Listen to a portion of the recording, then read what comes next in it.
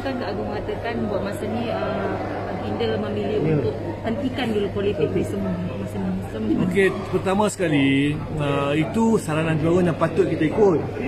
Tetapi keadaan sekarang ni 50-50. So pelabur tak akan datang. Ekonomi negara kurang baik.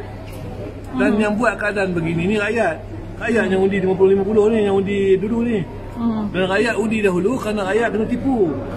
Hmm. Betul tak? Masalahnya PTPN tak bayar-bayar, tol percuma. Betul tak? Uh, GST harga turun barang, kalau SST turun barang. Tapi benda tu tak berlaku semua. Rakyat yang buat keputusan tu. Keadaan hari ini ni rakyat yang buat keputusan tersebut. Mm-hmm. Orang politik ni hanya nak betulkan keadaan saja. So how kita nak betulkan keadaan?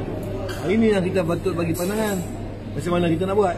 Uh, Datuk, ad- adakah BNMP diorang berpendapat bahawa uh, Perdana Menteri tak tak payahlah turun yang seperti yang letak jawatan. Dan letak kita turun. sekarang ni kita bincang apa yang terbaik untuk rakyat.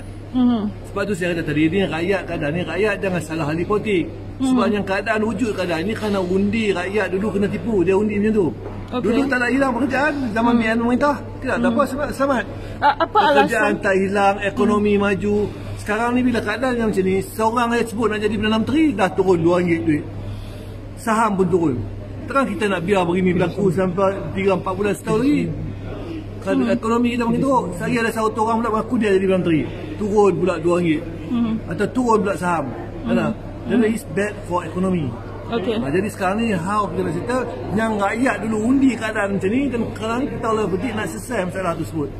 Ha, jangan salahkan ahli politik.